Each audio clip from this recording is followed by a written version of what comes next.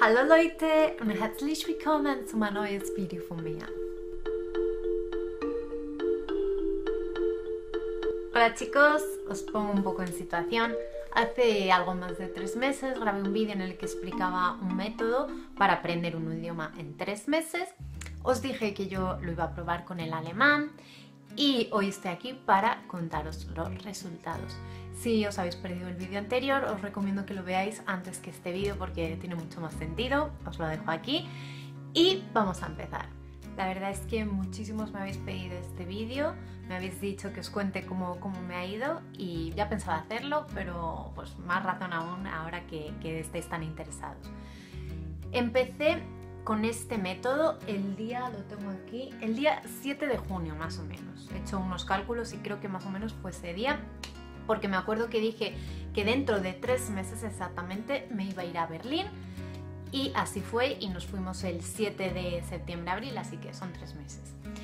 La cuestión es que empecé el 7 de junio y como os digo, eh, empecé haciéndome mi lista de palabras, las palabras más que más eh, reconocía, que, que, se decían en los vídeos que veía de YouTube y demás. Y mm, bueno, haciendo eso, viendo los vídeos, escuchando música, no, no he escuchado mucha, mucha, música en alemán, pero sobre todo me he centrado en eso, en ver vídeos, en escribirme las palabras más, más utilizadas en el idioma y en practicarlas. Y básicamente eso y a veces pues pensar en mi, en mi cabeza, pues cómo diría esto en Alemania, aunque no lo digan alto, pues pensarlo, bla, bla. Tengo la, la suerte de que mi novio es, es, alemán, por lo que, bueno, pues le preguntaba, ¿esto es así? ¿Se dice así? Lo que pasa que eso también tiene su parte negativa, que a veces desmoraliza un poco, porque a veces yo iba toda contenta, mira, no sé qué, tal, y me decía, ¿qué dices? No he entendido nada, y yo, y es como que te quedas pues un poco de en plan de, macho, estoy pronunciando lo mejor que puedo y no me entiendes. Luego dice, no, sí, sí. Bueno, gajes del oficio, no pasa nada. Y mm, nada, comentaros, en estos tres meses eh, reconozco que hubo un parón de tres semanas, hubo tres semanas en las que estuvimos en Mojácar de vacaciones y aunque podría haberlo hecho, mm, haber seguido con este curso y demás, no lo hice. Muy mal, muy mal, muy mal, muy mal. Tres semanas de parón significaron no solo esas tres semanas sin hacerlo, sino pues un poco como venirse abajo, como dejarlo de lado, como volver a empezar un poco desmotivado, así que muy mal.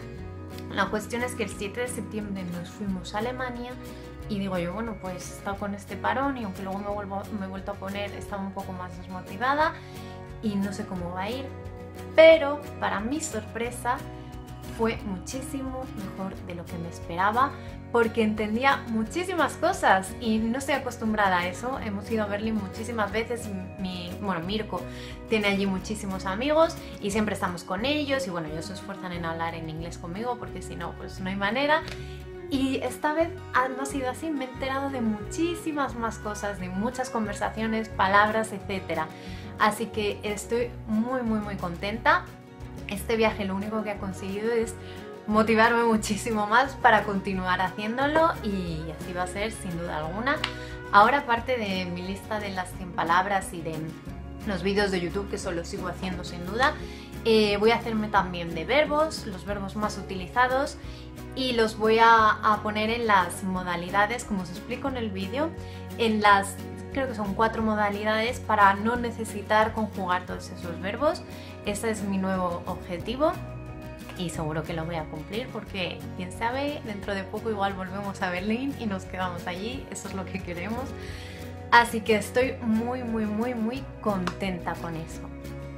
Deciros también, si lo que estáis eh, queriendo es presentaros a un examen de nivel o porque necesitáis un examen para la universidad de un idioma, bueno, que lo necesitáis para lo que sea, un examen que certifique vuestro nivel en cierto idioma, no os recomiendo este curso porque esos exámenes requieren gramática, etcétera. Así que no lo recomiendo. Este curso lo recomiendo para gente que pues, se va a mudar a otro país o para gente que tiene interés en aprender otro idioma. Pues eh, si la familia de tu pareja es de otro país, para poder relacionarte con ellos en las cenas de Navidad o lo que sea, etcétera, etcétera. Para este tipo de cosas del día a día, de poder manejarte y demás. Es para eso yo creo que es perfecto, el perfecto curso para poder manejarte en un idioma, poder entender lo que dicen, poder hablar, aunque sea un poco en método indio, pero que te entiendan perfectamente, es un curso ideal. Os diré que yo no he hablado mucho, he hablado cosillas, he soltado mis perlillas y a la hora pues de, ir a una tienda o un restaurante sí que he intentado yo hablar yo en alemán y que no tenga que ser Mirko el que diga las cosas por mí o decirlas yo en inglés.